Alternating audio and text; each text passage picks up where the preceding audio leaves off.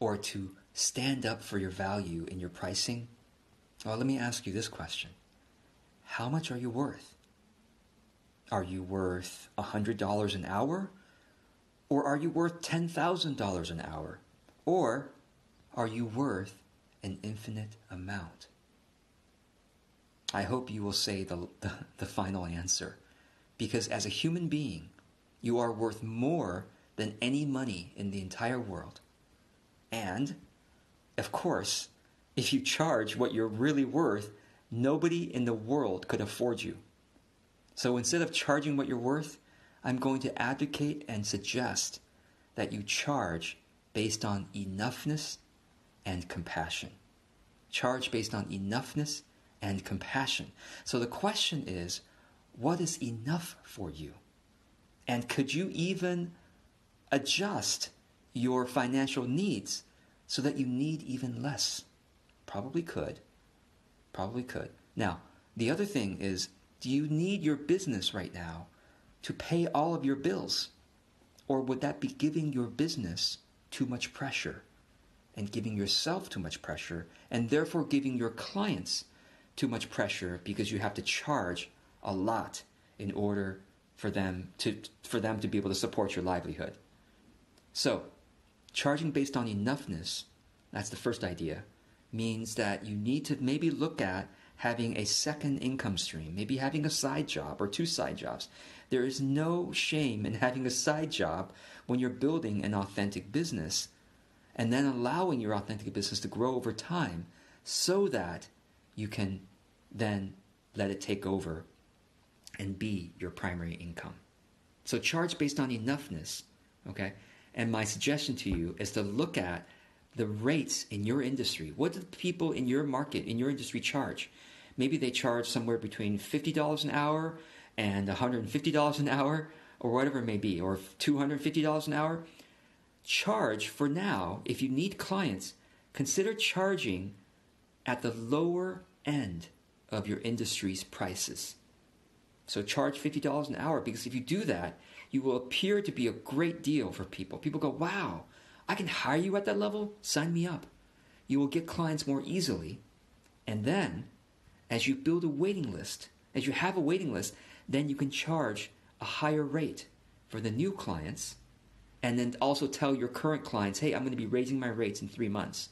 So you raise your rates in three months for the current clients, you charge the new, uh, new clients at the waiting list the new rate. And then once you get all your clients at the new rate and you have a waiting list again, you raise your rates again. So you raise your rates every time you get a waiting list up until a level where you feel like, okay, now I can live on my income as well as being compassionate. So that's my second point. Charge in a compassionate way to your clients. Because, like I said, if you truly charge what you're worth, nobody can afford you, right? So charge in a way where you're like, you know what? I feel proud of the rate that I'm charging. I feel like I'm giving my clients such a good deal.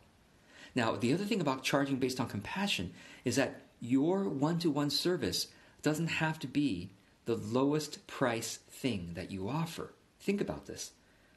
Are you making it such that everybody has to support your livelihood based on your one to one service?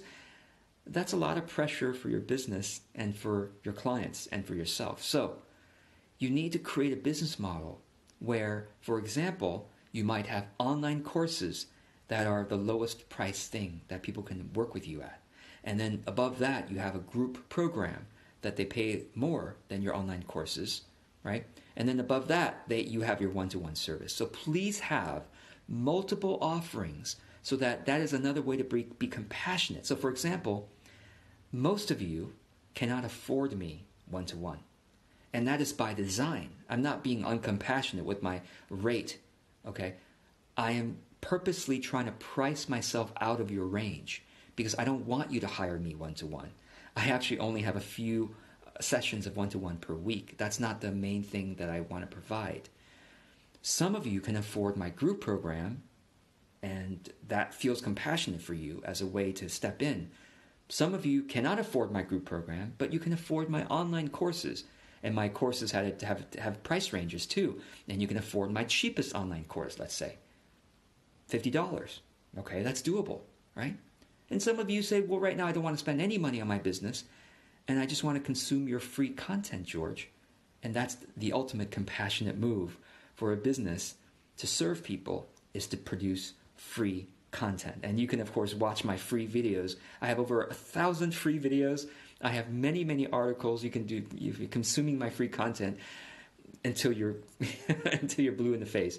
So so you need to have a business model that allows for that kind of compassion at the different levels so that your one-on-one rates can really sustain you and it's it provides enough for you while being compassionate, you know, with your business model. So I hope this is helpful. And remember, we don't want to charge what we're worth or stand up for our value because it's dangerous to compare our worth or our humanity with the prices. Because if you charge what you're worth, does that mean someone who charges more is worth more than you? Think about this. If they charge more, are they worth more than you? No, it's ridiculous. You are worth an infinite amount, and so are they. So charge based on enoughness and compassion instead. I hope this is helpful. Thank you for joining me for this video. My name is George Kao, Authentic Business Coach. I love talking about building businesses from, from the heart in a way that truly feels good uh, and brings compassion and wisdom into the world. So, anyway, I hope you enjoyed this, and maybe I'll see you in the next video. Thanks again for joining me.